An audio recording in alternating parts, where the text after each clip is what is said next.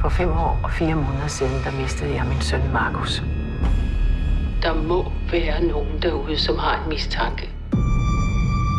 Men jeg vil vide, hvem det var, der slog Markus ihjel.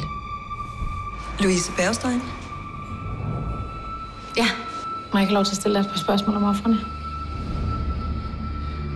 Vi antog stadig, at det var samme gerningsmand. Ja. Vi er ikke tættere på ham, end vi var for tre uger siden. Eller tre år siden. Betyder det, at vores profil af ham er forkert?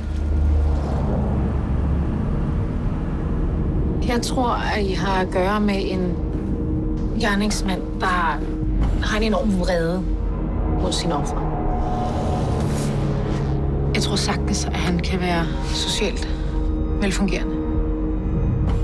Og have familie og arbejde. Det vigtigste er kontrol, dominans. Og der er sandsynligvis ingen omkring ham, der ved noget om det. Han kører nogle gange om natten. Så er han væk i flere timer. Jeg mit barn, Peter. Det var du som dro fra ham. Nej. Jeg valgte at forlade dig.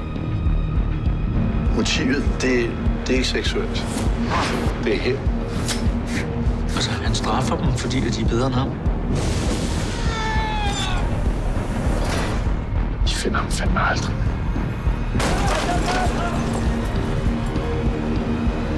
Hvis du fik chancen, ville du så slå ham ihjel?